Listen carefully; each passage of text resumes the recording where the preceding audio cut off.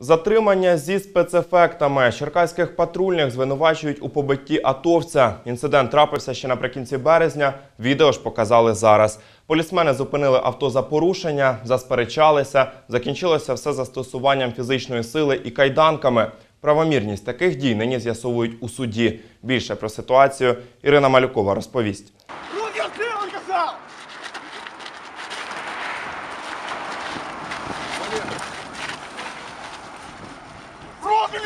Стенах! Не бей по голове, дебил!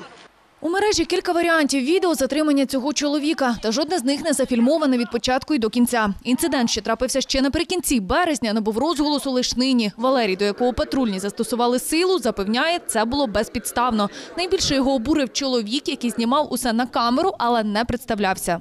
Невідома людина в цивільному фотографує номери машин. Машина постійно їздить на фронт.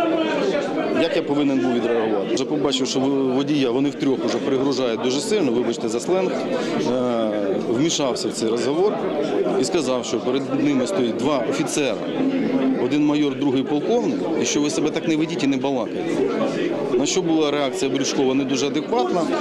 І після чого вони сказали, що вони мене затримують. Його товариш, який тоді сидів за кермом, переповідає, зупинили їх за непрацюючу фару. Далі, мовляв, додали ще кілька правопорушень. Поворот не работал, потом перескочили, поворота нет, э, сеточка не та. А потом безосновательно вы, мадам, лично моего побратима трижды били кулаком.